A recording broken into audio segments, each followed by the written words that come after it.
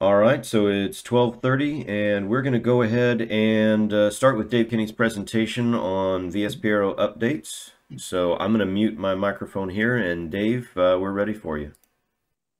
Okay, uh, hopefully everybody can see and hear me. Um, this year, a little bit different than what I've done in the previous year. So in the past, I've, I've spent quite a bit of time going into the details and the nitty gritty theory of the solver and the vortex lattice versus panel methods. I am not going to talk about really any of that today. Um, and as Brandon mentioned, all you know, all this is going to be recorded. But you know, one thing he didn't mention, I don't think, is you know, all last year's and the you know the, of the virtual uh, presentations were recorded as well. So if you are interested in kind of the theory behind VSPAERO, I recommend you go take a look at last year's workshop uh, presentations, not just mine, but specifically for VSPAERO, where I basically gave the same spiel I've given previous years that go into the details of the solver. Um, so today I'm going to basically spend time just going over what's new. It's going to be a little bit a higher level uh, presentation and uh, definitely open to questions. I'll leave it to Brandon if he wants to bring them up while I'm going, or if we just hold them to the end. Um, but there we go. So outline. Uh, gonna go over some some new stuff. Uh, just kind of like uh, not, not really big stuff, but new stuff that there. Uh, Rob mentioned a little bit of it. Then I'm going to talk a little bit about some of the, the updates that have gone into the current version of the code um, and that will going to be uh, rolled out, uh, you know, whenever the next update uh, gets pushed out. Um, specifically, just talk about stall prediction, some structural analysis support, some optimization support, and then uh, a little bit about things that go round and round. So, just new stuff. Uh, the first one, Rob mentioned this, Reynolds number sweeps are supported. So you know, in previous versions of the code, you could run angle of attack sweeps, Mach sweeps, you know, a combination of the two, and you basically get a square database across all the Mach and angle of attack uh, cases. And you can now put in a list of Reynolds numbers, um, and it will basically write out a dot .polar file that has, you know, the solutions for CL, CD, CM, etc. as a function of Mach, angle of attack, and Reynolds number for all the Mach alphas and Reynolds that you put into the code. And the Reynolds number sweeps are really, you know, essentially post-processing. The solver is an inviscid solver. It's either running Vortex Lattice or panel methods. And so the Reynolds number sweeps are basically a post-processing to make an estimate for the viscous drag. And as well, as we'll talk later, uh, apply the stall model if you have that turned on. And so in, for the most part, doing those Reynolds number sweeps are almost free. Um, they, they cost very little time in terms of you know solution time added into a you know Mach alpha suite. Spanwise loading for panel mode. So in the past, if you ran the Vortex Lattice code, you got a load file that gave you basically spanwise loading information because that was easy to post-process out of the Vortex Lattice code. Um, we support that now in the panel code. Um, it's going to work best for the VSP geom uh, file format that Rob is going to talk about later, um, but it does work for the CompGeom meshes as well. Um, but there are some caveats where it, it, it could get confused.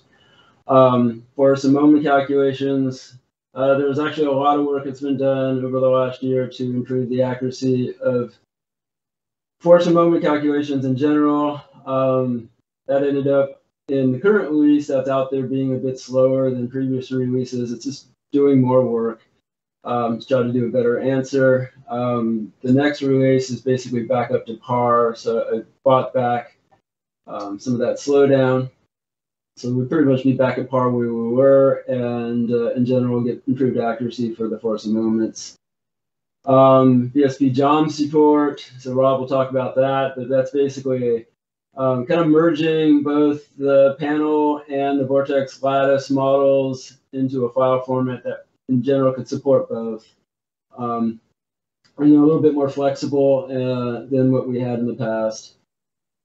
And then, as Rob mentioned, a lot of old bugs are fixed, and I'm sure we've added some new ones. Um, so bear with us. So, jumping into stall prediction.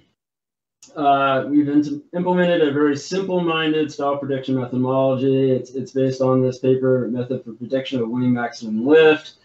Um, I basically use that. It's basically a model for calculating essentially, you know, a bound on minimum pressure coefficient. Um, I modified it to account for Reynolds number based on Carlson CP limit correlations. So it's a function of both Mach, local Mach number and local Reynolds number. And so it basically is a post-processing to the solution. So you run your solution at some Mach number and angle of attack.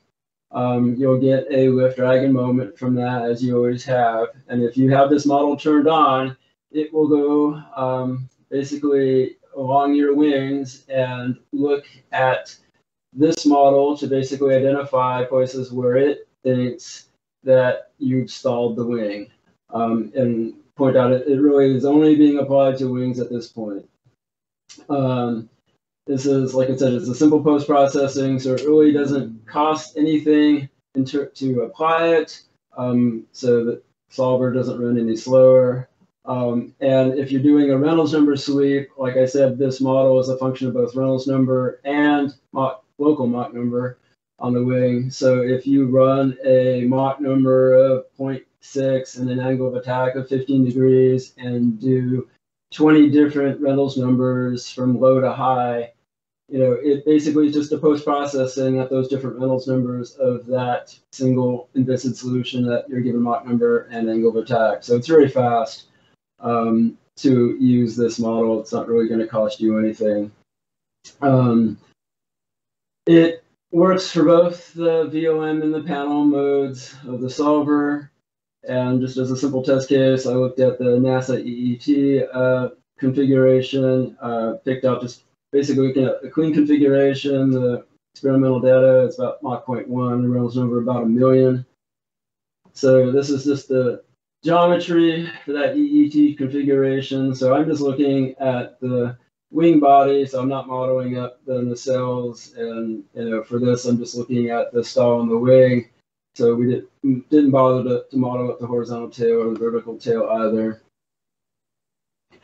Um, so in VLM mode, that's just the, the Vortex Lattice model there down in the lower right ran it through a sweep of angle of attacks at that point, one-ish Mach number and about a million Reynolds number.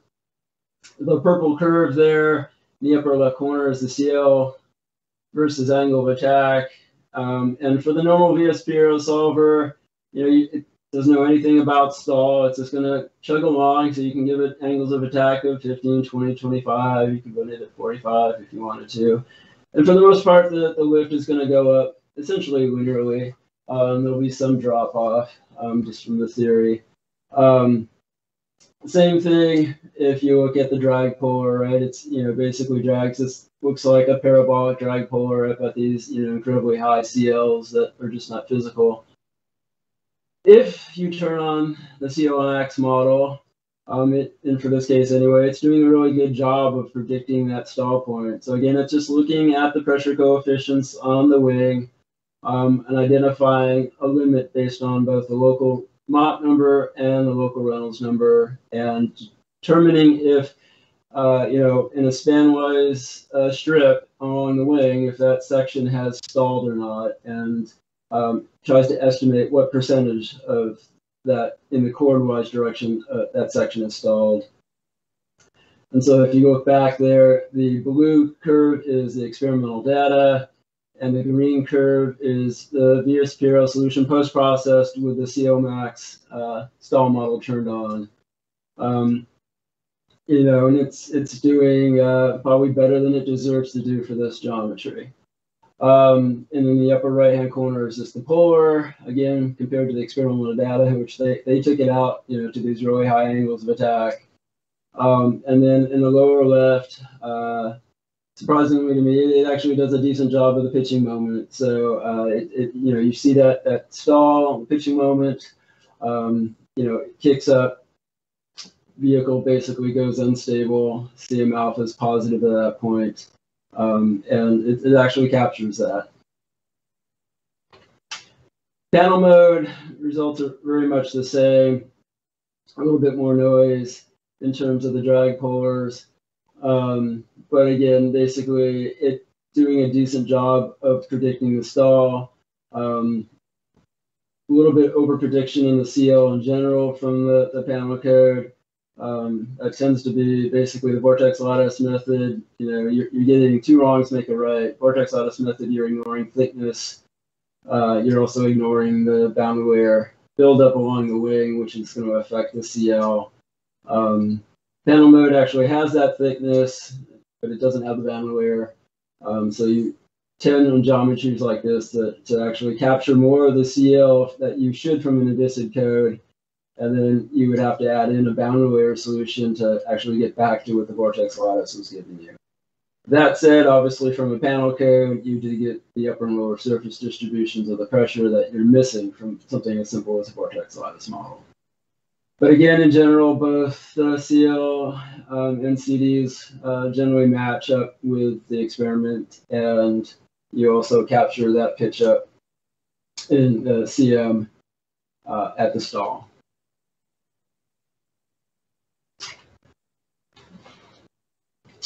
So, structural analysis support.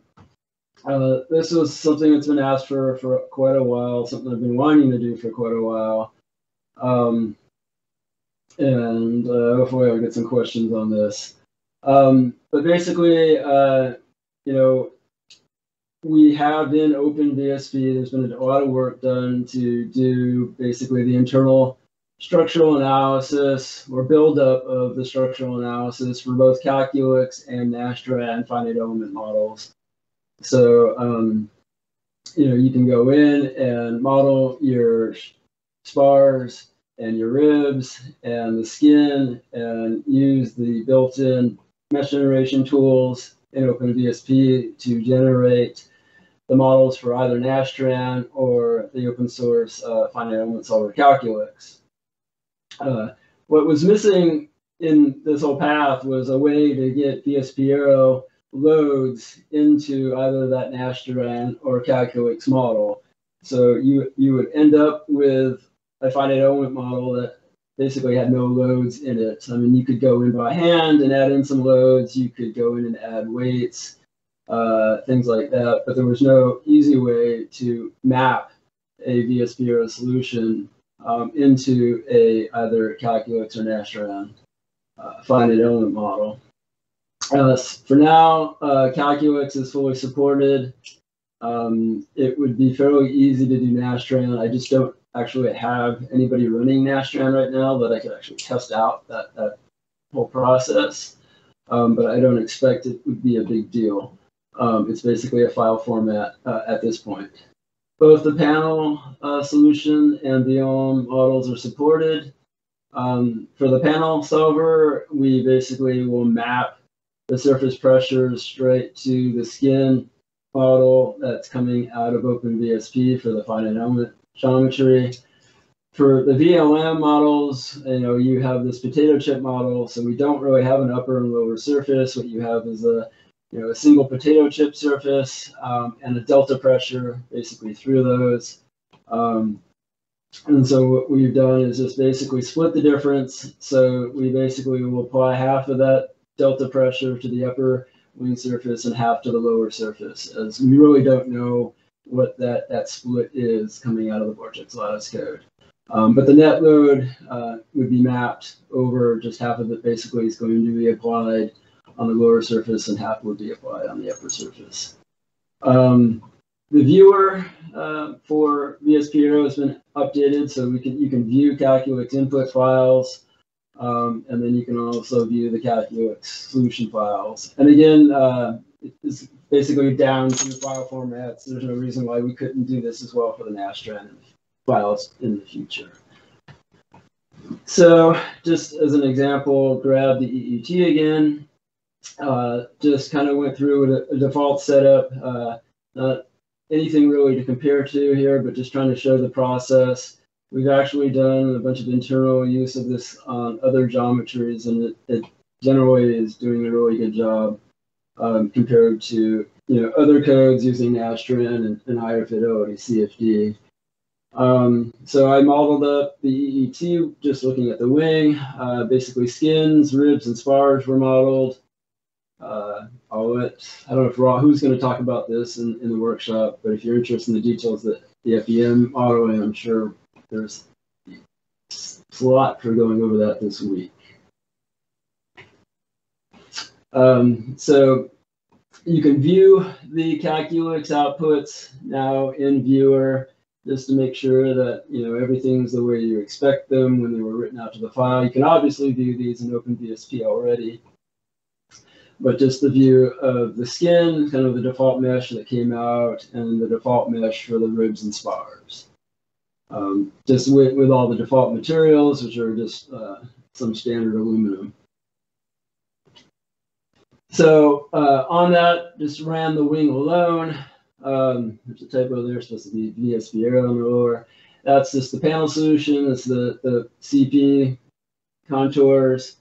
Um, and then there's basically a tool now. Um, it's called ADB to load that will map that CP distribution over to the finite element surface. So I mean, these look like the same geometry they are, but they're actually two different meshes. So the, the left one is the VSPAERO geometry and mesh uh, using the comp geom to generate it. On the right is the unstructured mesh uh, generated in the uh, finite element routines within OpenVSP. So we're mapping that across. The, the contour colors are different because just to point out that you know, um, VSPAERO is calculating the coefficient of pressure. The loads that go into Calculix are in fact the pressures.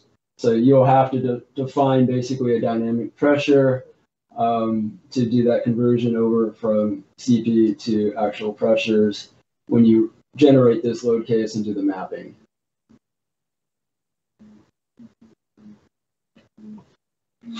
Uh, once you've done that uh, and you've set up a number of other things within Calculix, all of which we've actually added in there, things to basically find like the symmetry plane points, add in boundary conditions so that your wing doesn't fly away when you apply a load and, and run it through the solver. Um, there's a bunch of other things that we've done in there in general to allow you to tie you know, multiple uh, FEM models together. So we've done this with a strut brace wing where we had the wing and the strut and a brace all modeled up in OpenVSP, all modeled within the finite element tools within OpenVSP, and all have loads applied to them from VSPAERO, and then the structures tied together. So we have a number of different tools that we'll include here in the future to allow you to do all of that. Um, and then within Viewer, once you've run Calculix, you can pull in that solution and take a look at, you know, the deflected geometry. So here we're just looking at the skin deflected on the left, uh, just with the baseline, actually VSPAERO geometry there in gray as a reference. You can look at the actual deflections. Um, you can look at the contours, in this case of the deflection magnitude. Um, on the right is basically the same information, but here it's showing it for the ribs and spars. So it's it's a fairly easy process now, at least for a single wing to go through and run VSPAERO. Uh, once you've got your finite geometry modeled up and in OpenVSP, write that out, do the load mapping, um, and then run Calculix. Um, presently, this is all had to be done on, on the command line, but I expect uh, at some point this stuff will get rolled in, so you'll be able to do this all from the GUI.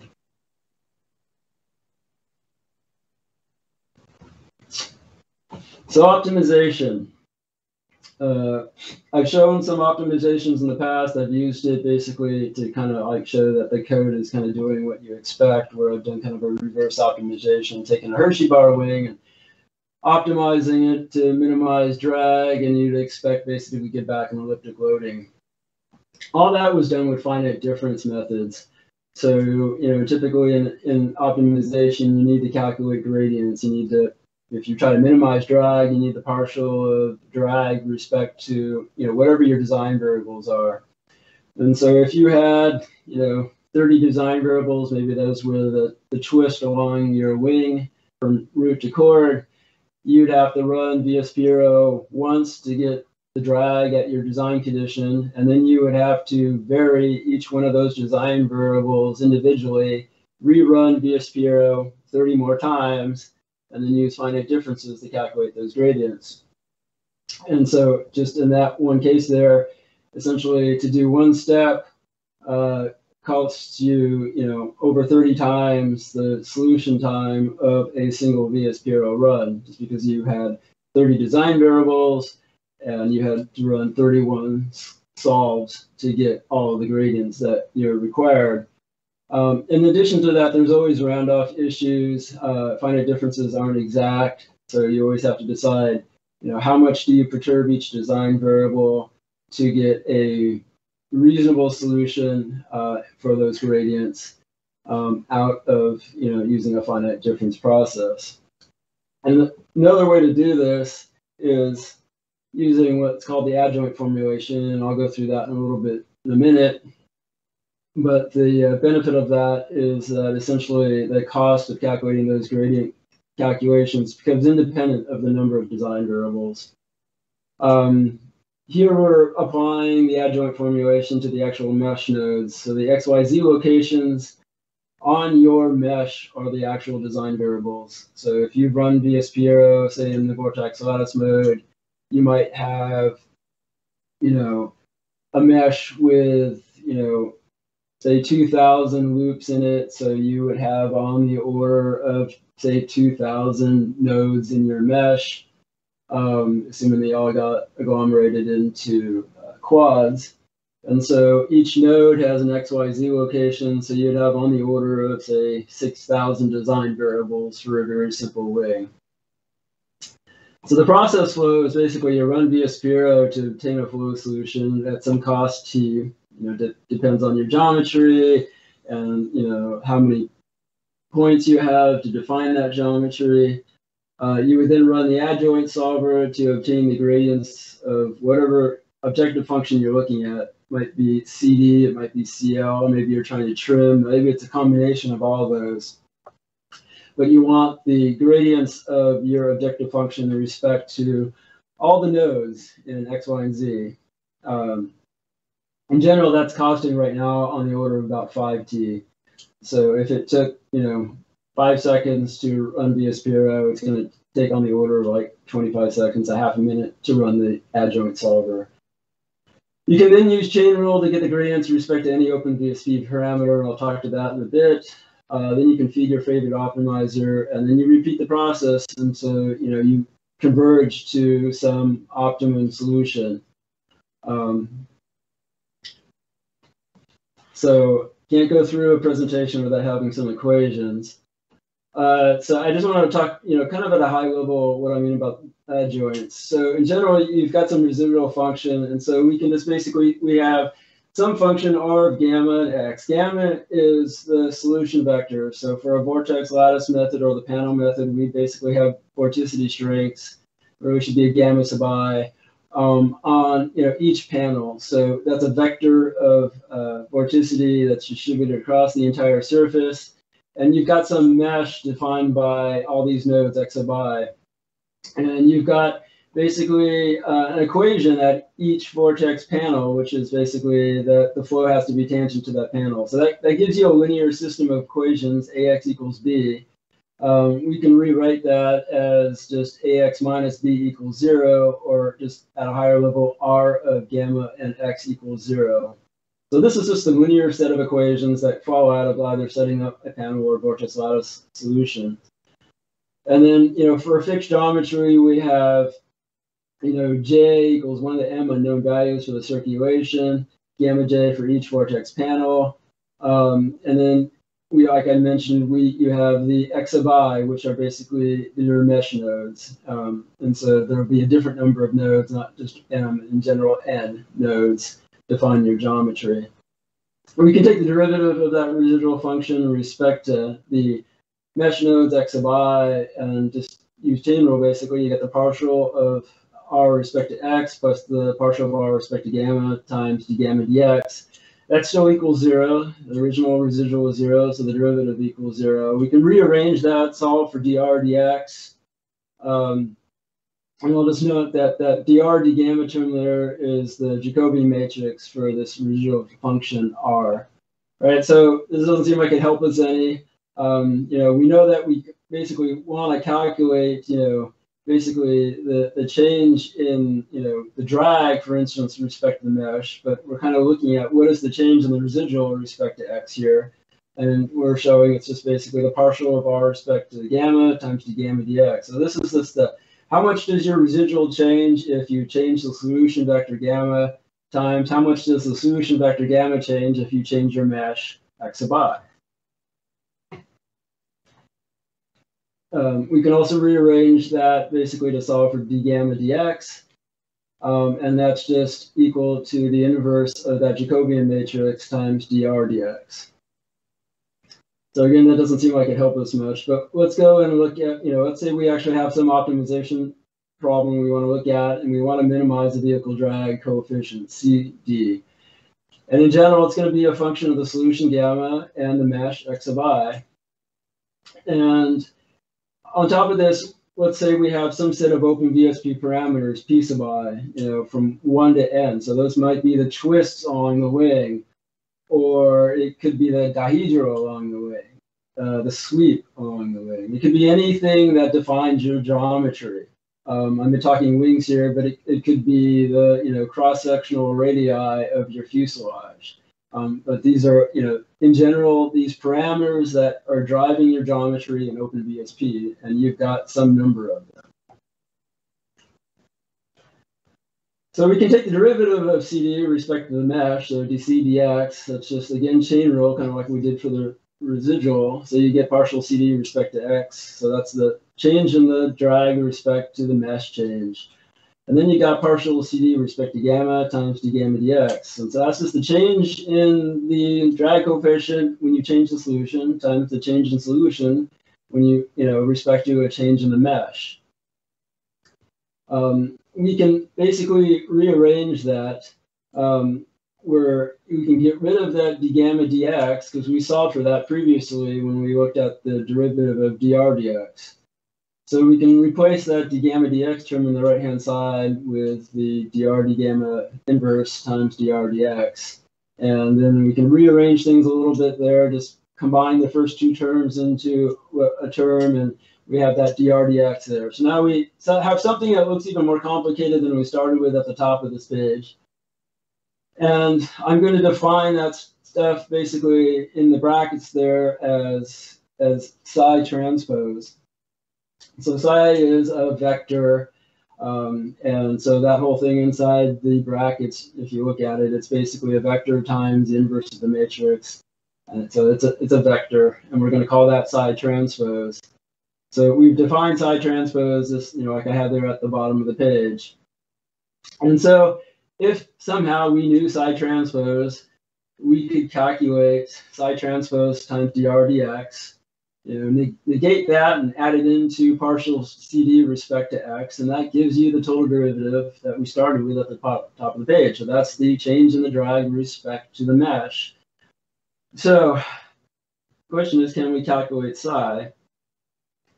So we can rearrange this, and uh, basically if you take the inverse of both sides and the transpose of both sides, do a little bit of algebra, you can come up with this equation for psi so it's this dr d gamma, again, that's the Jacobian matrix, transpose times psi equals the partial of CD respect to gamma transpose. So the right-hand side is the, the change in your drag respect to the solution change. And the left-hand side matrix is just your Jacobian matrix transpose. So this whole thing is called the adjoint equation. And if you solve this, if you can if you can formulate this and actually solve this for psi, it allows us to calculate the gradients of CD with respect to the mesh nodes x sub i. Um, and so for the solving, you know, a single system of equations basically gives you, you know, the solution for DCDX for gradients for every node. So the question is, can you solve this efficiently? And the answer, of course, is yes. Um, and then you go back down if we really care about the CD respect to some open VSP parameter, we basically just use chain rules. So we have partial CD respect to some parameter that you've got defined uh, for your model in OpenVSP. That's just the partial CD with respect to x i, which is what we've been working towards solving here. So we, we know that, presuming we've solved this adjoint problem. And we just multiply that times the partial of x i respect to p. So that's that second term there, the dx di, d, dx sub i respect to p. It's just a change in your geometry with respect to some parameter in the mesh. And you basically are doing this every day when you're playing around with OpenVSP and you're moving that slider around to change the span of your wing. That's basically, you know, calculating on the fly the partial of span or of the wing geometry with respect to that span variable. So we can basically easily calculate the change in mesh with respect to your various parameters. We can store that um, and then we basically do this inner product, this chain rule to get DC dp. So the adjoint equation, it's linear. Um, we can use automatic differentiation tools to help us set up that system of equations. I'm not going to go into that here today, um, but I'm basically making use of the adept C++ framework to do that. Uh, it turns out we can reuse pretty much all the VSP solver framework to solve that linear equation. We then get the gradients with respect to any number of design variables for the cost of one VSPAERO and one adjoint solve. Um, and like I said, basically right now that adjoint solve is on the order of about five times the cost of a single VSPAERO solve. So if you're just running, you know, a single design variable, and that's not really an optimization, it's more of a trade study, but if you're just running a single design variable, you know, wing twist at the root, then it would be faster just to do finite differences, all things being equal. If you're doing more than about five design variables, which is going to be the norm on most any real design problem, um, then this would be a break even situation. And if you're doing more than that, then the adjoint uh, process that we've put together here uh, would be a time saving. Um, so, and, and then there's a lot of uh, work that is going to go into to hopefully reducing that cost for the adjoint, probably down to something on the order of two times the cost, is where I think it will end up being. Um, there's a, a lot of, uh, you know, alpha beta ish code in there now that all works but isn't the cleanest. So the test case, uh, just a simple wing, uh, incompressible Mach 0.01, 5 degrees angle of attack. Stuck the CG up there near the nose uh, of the vehicle, so by definition, it doesn't trim. Um, I'm running this in VLM mode. It will work for both VLM and for panel mode. Um, really, there, there's no difference in the setup or run, but just in the run times, it's just easier and faster to do VLM. Um, obviously using the adjoint solver for the gradients. Uh, so the design variables, I have nine sweep values along the span, nine twist values along the span, nine dihedral values along the span. So there are 27 design variables. So if you were doing this with finite differences, you would have to run the solver once at this Mach 01 and 5 degrees angle of attack. And then you would perturb all of those design variables one at a time and run 27 additional solutions uh, for a total of 28 VSPAERO runs, um, you know, kind of per uh, optimization step where you would need those gradients. Um, I threw together uh, just a, a simple Python-based conjugate gradient optimizer, um, and I'm just using a penalty formulation to uh, basically minimize this functional here that I, I list out. So it's basically, you know, CL minus some CL required, which is was set to 0.5 squared uh, plus, you know, cm squared plus cd squared. And then a, b, and c are just these penalty function weights. Um, so if, you know, let's say b and c were both zero, then your functional would just basically drive CL to CL required, and that would be the minimum of F. if you add in, you know, a non-zero b, then now that CM squared term uh, becomes into play, and the minimum is going to have to be obviously CM would go to zero. Um, if C is non-zero, then again, you're going to try to minimize this functional. So now the value of CD comes to play, and obviously you're never going to get CD to go to zero unless you like drove CL to zero. Um, and you know it was basically no twist, uh, no dihedral, just a flat plate, so that CO was also zero. Um, you're always going to have induced drag if you generate any CL. And since we're driving CL to 0.5, CD is never going to zero. So you're just, you're, it's going to try to minimize that CD, try to drive CD down to zero such that CM goes to zero and CL goes to the 0.5 value. So the graphic there is just the initial solution on this SWEP kind of default when coming out of uh, OpenVSP we run this, uh, ran it out. Basically, it, it's doing uh, nine iterations of the conjugate gradient uh, solution. So it's it's evaluating the gradients nine times. Um, you can kind of see those in the steps there, where there's big steps, and kind of like where the gradients are going on. It's a little less obvious uh, in the later stages where things aren't changing as much. But the upper left corner is just the value of sweep, uh, then upper right's dihedral, which isn't changing a whole lot, and then twist. And so what you end up with is, you know, basically this gull-shaped wing. Um, you know, it's trying to uh, trim this vehicle, and you know, in the initial uh, guess at your geometry, the CG was at the apex of the wing, and so all of the lift was behind the CG. So the only way it can actually really kind of twist is a sharp moving lift forward and then adjust the twist along the span. So it does that.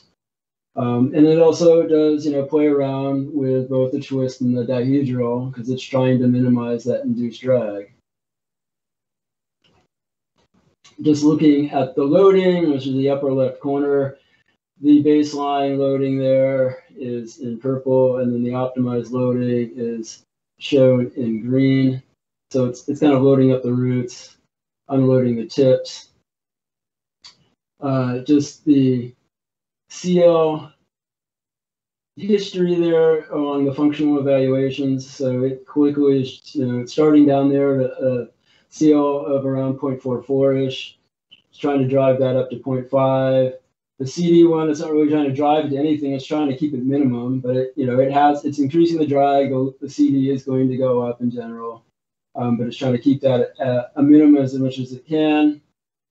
And then CM hasn't quite driven it to zero here. It's a trade-off between all the other uh, weights there in the, in the penalty function. I basically put a much larger weight on CL versus CM if you played around with those weights, you could trade off, uh, you know, on CM or CL.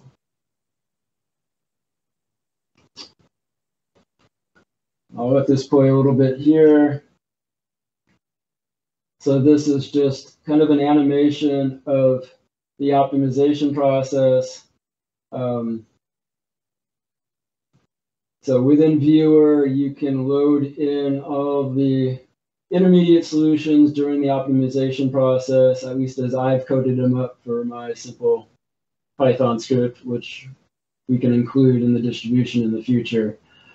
Um, just kind of showing what it's doing. So initially it really goes after, you know, that sweep. Then if you look at, you know, the tips, it's playing around with both the dihedral and with the twist.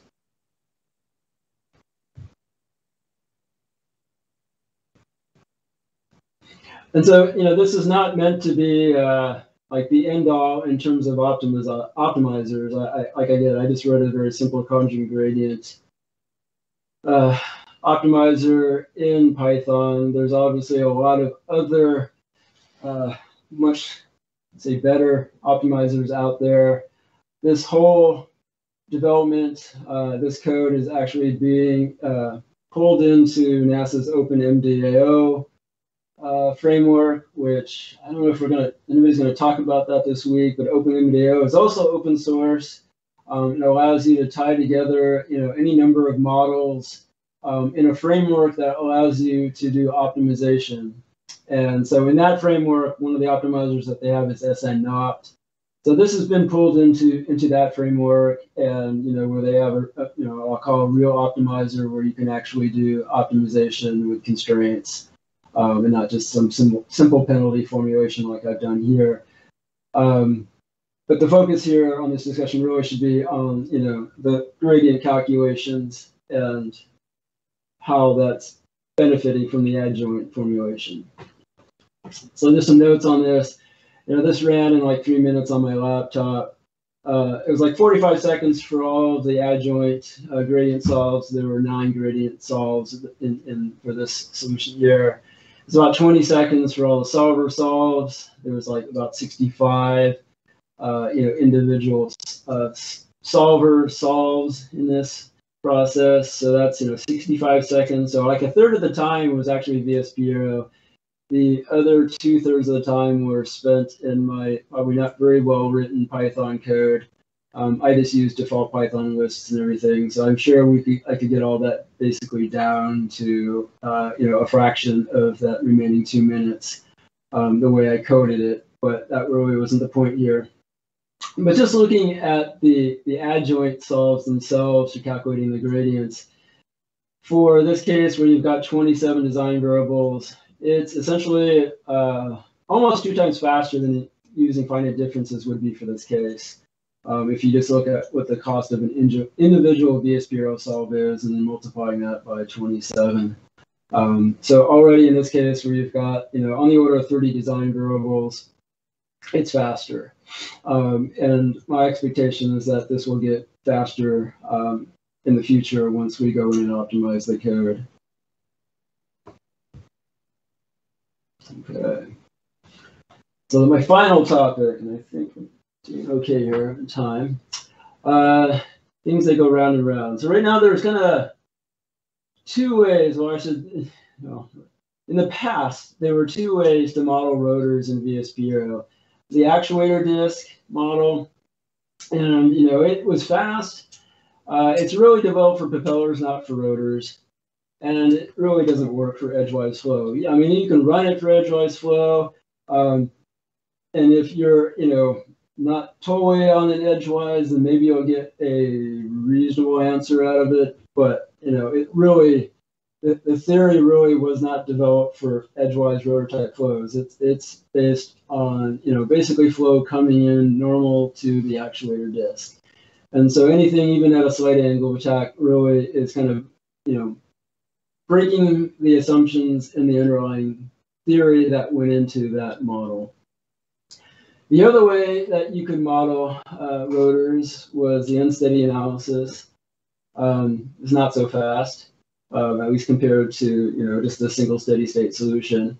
But it works for propellers, it works for rotors, it works for you know those in combination with wings and bodies.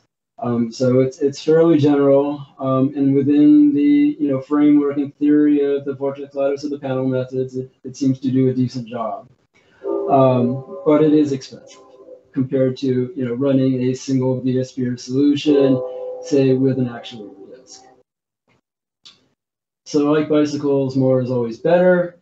So I've implemented a third way. Um, basically, I'm calling it the quasi-unsteady model for rotors. So the rotors are modeled, um, not actuator disks. So you go in there and actually use the, the prop geometry that's in OpenVSP.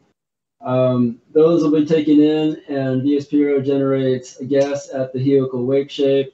That's based on basically your free stream velocity, the RPM of the rotor, um, and you know the local angle attack of the vehicle. The rotors and their wakes think they are rotating. Um, the rest of the vehicle doesn't.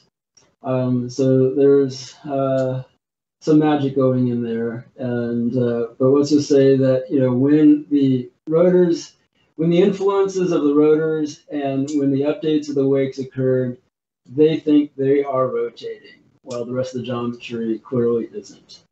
Um, wake shape is iterated on to account for you know all the wing body interactions, just like you would have normal if you had wings and bodies. um, and wakes coming off of them. Wake-wake interactions, including you know self-induced flow. So the rotors, the wakes of the rotors interact with wakes of other rotors, interact with their own rotor wakes, and you know, and all those wakes from wings and other rotors interact with them. Um, however, the wakes are constrained to move in the thrust and free stream directions. So the updates occur, and then there's a projection process that goes to basically constrain the motion of those wake updates to move in what I'm calling the thrust direction and the free stream direction. So the thrust direction is that's basically defined by the normal of, um, you know, if you want to think of an actuator disc, but the normal to the, the thrust plane. And the free stream direction, which is just defined by, you know, the angle of attack and uh, the side slip angle. It's slower than the actuator disc model, but it's a lot faster than time accurate model. And you can apply it for edgewise flows, i.e. rotors can be modeled. Um, only question is, is you know, is it useful? So as a test case, um, and I'll just note this is all kind of early work in progress, but it is going to roll out.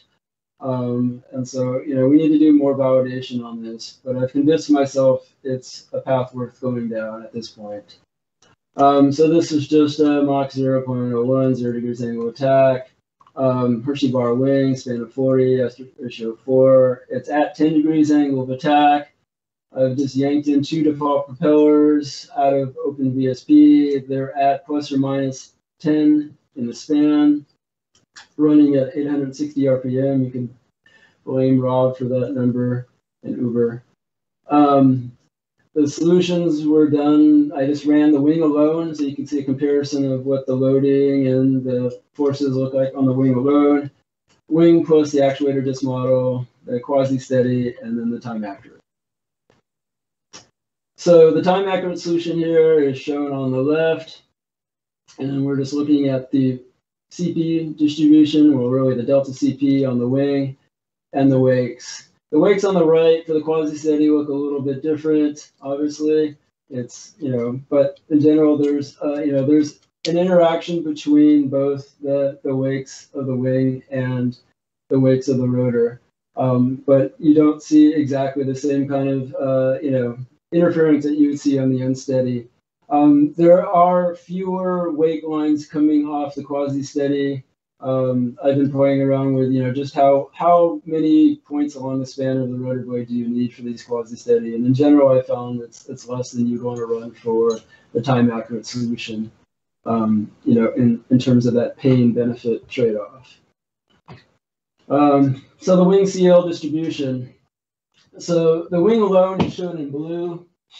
The wing plus the actuator disc is kind of that uh, burnt orange color there.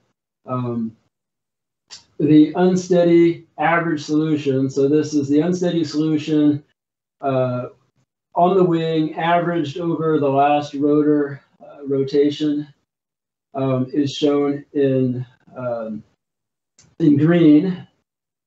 And I'll just note to begin with that it's quite a bit different than the actual rotor disc, uh, the actuator disc solution. And then the the quasi-steady solution there is in purple.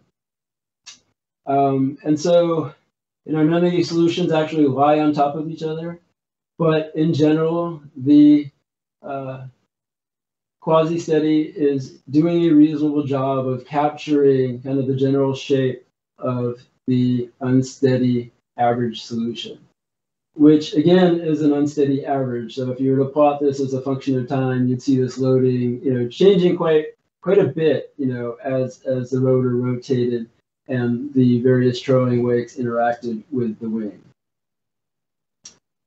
Um, looking at this, you would basically say that the actuator disc is, is doing a horrible job. Um, but then if you actually look at you know the forces and moments here, so the unsteady uh, forces and moments are on the top line. The, the next line is the quasi unsteady, um, and then the actuator disc and the wing alone.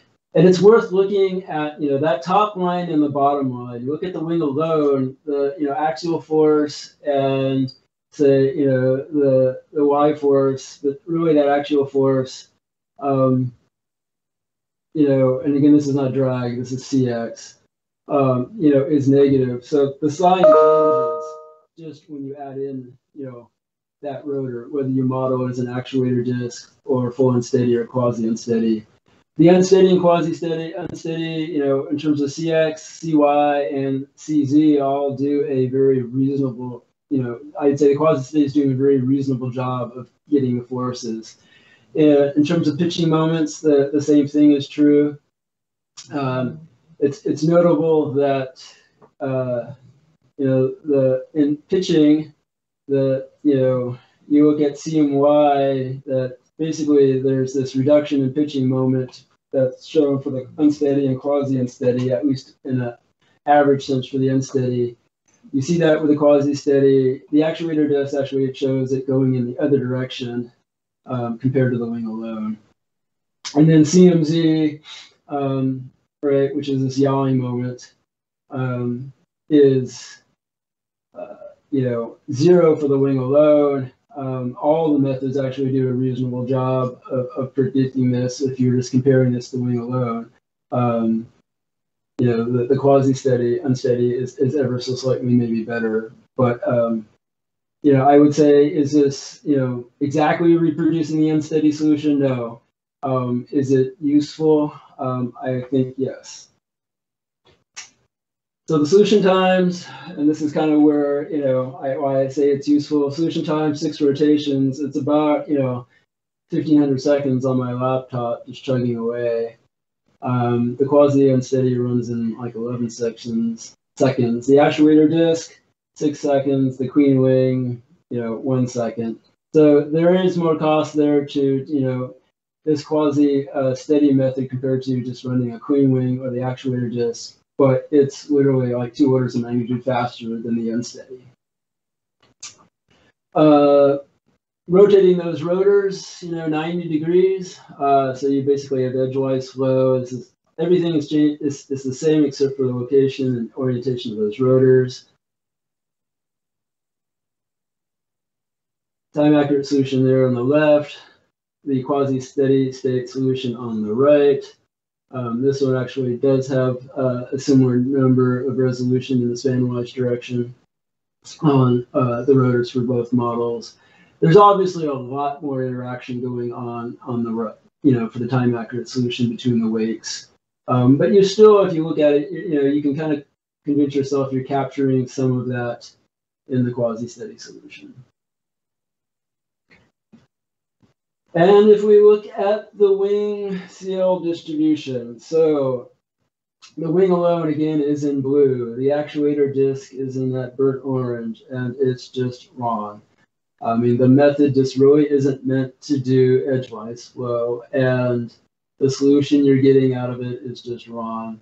There are some games you could play to maybe get something better, but really the model is just not meant for edgewise flow the unsteady average solution there in green, um, and the quasi-steady in purple. Um, do they lie on top of each other? No. Um, but I think, you know, you're getting, uh, you know, some of the, you're, seeing the delta, the impacts of this rotor on the wing. Um, and so the question is, you know, for the amount of time you put in, is this information useful to your design process? I think it can be. If you look at the wing forces and moments, we don't do quite as good as we did for the propeller case, um, but we're clearly doing a heck of a lot better than we did with the actuator. Um, so the you know CX uh, and CYs and CZs, um, you know, you know they're within you know 30 to 50 percent of the actual values, but I think you need to look at those as deltas from the wing alone to understand that if you know you're looking for trends, um, which I think at you know this level of analysis and then this level of uh, you know conceptual design is probably what you're looking for. I think it actually provides you some very useful information. Um, and specifically something like CMY, the trim, um, it's you know acting in the right direction. So it's definitely showing the impact of those rotors on the wing in terms of trim, as well as in terms of the force. so solution times, uh, about 20 seconds on my laptop, you know, six rotations of the blades, about 73 seconds for the quasi unsteady. Um, I should say that you know these take uh, more than you know the typical three-ish wake iterations. I'm running these out uh, typically you know, on the order of 10 to 15 wake iterations to get the solution settled down. Um, that's going to be very much geometry dependent. Um, but it's kind of like running, you know, high risk cases in VSPAERO where you've got, you know, flaps and whatnot modeled. Um, there's a lot of wake interactions going on, and you need to run out enough wake iterations to get that to settle down. Actuator disk, I mean, it took five seconds, but the answer was just point out wrong, and obviously the clean wing, you know, it's on the order of a second again. Um, but obviously that doesn't give you any information about what's going on in this configuration. Last one, uh, this is, this is kind of more of a graphic. This is the Uber geometry. Time accurate solutions on the left, quasi steady on the right. You getting all the interactions between the, the blades. Uh, um, so, you know, if you stare at it uh, and squint, you can see that, you know, you're, you're capturing some of these interactions that are going between the blades as well as the wing, uh, you know, wakes. From a load standpoint, uh, you know, this is like by far, you know, the worst solution uh, you've seen today in terms of comparisons. You've got the unsteady average up near, you know, the top, the wing alone near the bottom, quasi-steady is kind of splitting difference. Um, but if you look at the integrated force and moments, we don't do bad. Um, you know, you look at CX and CY, CZ, um, all the trends are actually there and they're actually fairly close. You know, CZ is off by 50% maybe. Um, CMY, which is you know probably the big one in terms of trimming the vehicle and trying to understand the impact of rotor RPMs and you know how, how are you going to trim this vehicle, um, actually scarily good, um, probably better than it deserves to be. Um, and again, you know you want to compare these all to the wing alone solutions. Um, you know, so CM is you know it's pitching down and it's pitching up, right? Um, so um, obviously, th- these are just the, the, the, forces and moments on the wing. Um, you know, these would be you know traded off with the you know the thrust and the forces that are occurring, you know, with the, the delta pitching moment caused by the thrust. So you you trim this vehicle out with the rotors. So that Uber case, 12 rotations. I really ran that one out. Uh, it was like five and a half hours on my laptop and the quasi steady was seven minutes, right? So I think for what you're getting from the quasi steady solution, um, the trade off in time is quite worth it. So what's next? Uh, I'm going to quickly go over this. I only have a couple minutes. Uh, improvements to the adjoint. Most of it is basically trying to speed things up. It's a single processor right now, so I'm going to try to figure out how to do multi-processor. Um, there's a bunch of wasted CPU cycles where things are basically being recalculated, reprocessed multiple times, um, and trying to improve memory usage uh, overall in the adjoint calculation. Structural analysis, um, including both you know wings in, and bodies in the future. Um, I should add in here Nastran. We definitely want to put that in. Um, we're looking at trying to do some coupled solution process. Probably going to go down the mode shape path. Um, ultimately, I'd like to be able to do some flutter analysis. Um, and then the quasi unsteady, like I said, this is kind of like uh, work in progress. This is something that's been going on the last couple months. Um, there's additional things that we could do to relax the rotor wake, uh, you know, iteration, shape, relaxation. Um, I'd like to tie this in with the noise prediction so that we can do kind of a quasi-steady state noise prediction. Um, and then obviously one of the, the big ones that we want to do this is basically trim the vehicle using RPM and or generating rotor control type derivatives. All right, I think I got it. Well, Dave, thanks a lot. That is um, an incredibly impressive amount of stuff. You've clearly been very, very busy. And, you know, most of this stuff uh, has not been released yet and um, hasn't even made it to me yet. So hopefully these things will be becoming mainstream over the next uh, few months. That'll be really exciting to see. While while Brandon queues himself up, I think you can safely stop sharing your screen. While Brandon queues up for the next one, we've had a bunch of questions. Uh, Brandon answered some of them, but I'd I'd like to just take a minute to have you answer some of the questions from the from the forum. Um, let's just and some of these Brandon answered, but I'm gonna I'm gonna ask you again. So one of first, what does the CLMax variable do in the input file? Is it still supported given the new stall prediction tool? Do you what do you what should you set that to if you're using the new stall predictor?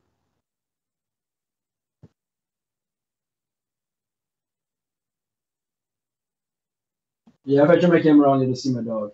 Um, so it's uh, if you're running it, you know, editing the .vspr file by hand, if you you set it CLMax to minus 999, it will kick in the the new CLMax. Okay, so CLMax minus 999. Okay, and otherwise it operates the way it always did. Yep. Great. Um, let's see. Uh, would you give an answer just a little bit about the logic of when is a DegenGeom file used, when is a VSP geom file used, and when is a tri file used, and how does it pick? Yeah, so uh, it depends on what's in the what's in the directory, and I'm going off by the top of my head, so it's probably wrong. but um, if you have a, it, it, what it should be doing is if you've got a VSP uh, VSP job, it should take that first. Um, whether or not you know that's a well, and I know Rob's going to talk about for, for the VSP job that could actually be either a Vortex Lattice model or it could be a panel model, but it should grab that first. Um, if it doesn't find that, then it should look for a tri file and load that in. If it doesn't find that, then it should look for basically the you know the CSV file for the DegenGeom. Um, and so that is essentially the order. Um, for the panel solves, it will also look and see if there is a CSV file sitting around. But I think there it assumes that there's an underscore DegenGeom tied, tied to it and it would try to pull from that CSV file things like the rotor, loca- you know, rotor prop locations, things like that, stuff that's not in the tri file um, and not in the VSP geom file, but were in the uh, CSV file. So yeah, I'll thank you, Dave. I'll I'll add to that answer and just say that the um, that the GUI tries to make that invisible to the user so that when you choose general, I'd say for panel runs, there's no reason not to use the VSP geom file. It ought to work pretty well. Uh, the thing to check when you look at it in viewer is if it captured the entire wake correctly. There might still be some problems where, you know, at the very root of your wing or at the very tip of your wing, part there's there's a part where there was a wake that did not get attached. And if so, uh, share that test case on the VSP group, uh, on the Google group with me, and I'll try and get it fixed. Um, the experimental file format does theoretically work with VLM files, but it's much more experimental right now um, in that we're still working through uh, how that intersection works and whether those files are intersected or not intersected. So there's a difference in how those are handled. Um, what this this whole thing, and we will talk about this a little bit later in some of the other talks. The direction that Dave and I are are, are driving towards is, you know, a unified run mode where you where we always use the VSP geom file and where you choose individually on a on a essentially a component by component basis whether that component has a thick surface like a panel representation or a thin surface like a VLM representation. The idea being that wings, vertical tails, horizontal tails, and rotors, any sort of lifting surface, you would most likely model with a thin surface potato chip VLM style representation. And all, you know, bodies, pods, you know, big fat things that don't lift, you would model with a thick surface representation. And then we actually have the ability now to trim those thin, mixed geometries of thin and thick surfaces. So we would have all the benefits that Dave was talking about, where VLM does just an amazingly good job with lifting surfaces, but we would also get some of the blockage modeling from the thick surfaces. So that's that's where we're headed, um, but that's still probably a, a few versions from completion. Um, there's a question, can the convergence tolerance be specified in VSPAERO? No.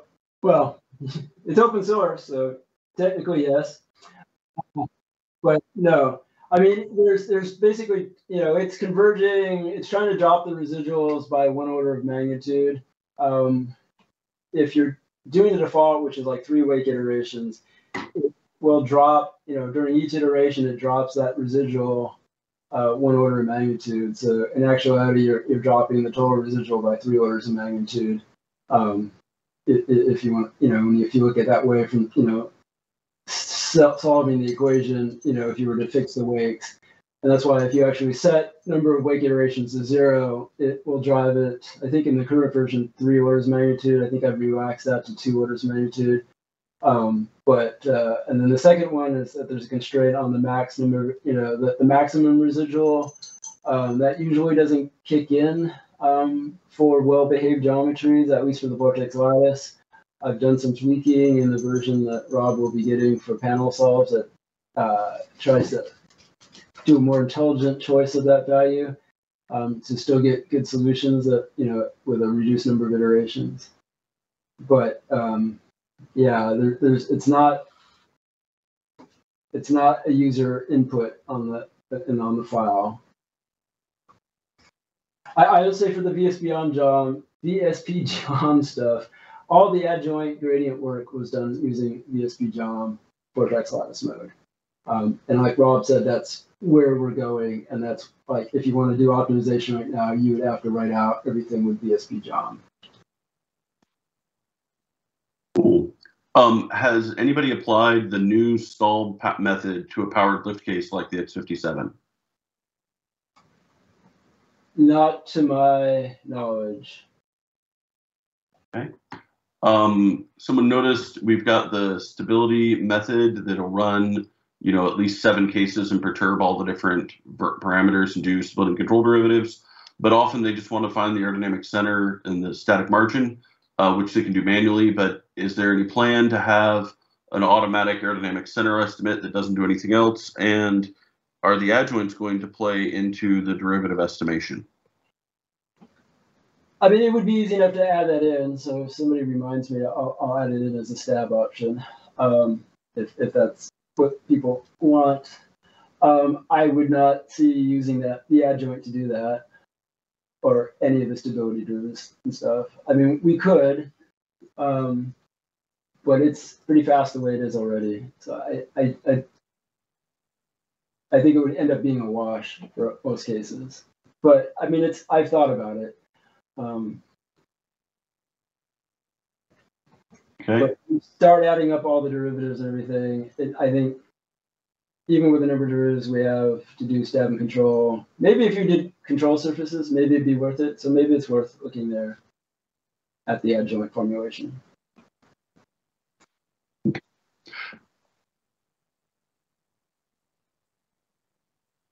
I'll just have one last question. Um, if you would talk a little bit about supersonics with VSPAERO, someone was asking about it on YouTube, and if anybody done at Concorde, how's the supersonics looking in VSPAERO? Um, there's a there's a whole presentation on the wave drag tool, but um, is just your comments on the on supersonic capability. And that's and then Brandon can go. Yeah, I mean, I look like I said, look at the the previous year workshop presentation. I, I talk about the supersonic stuff there in more detail, but it really only works for the vortex lattice.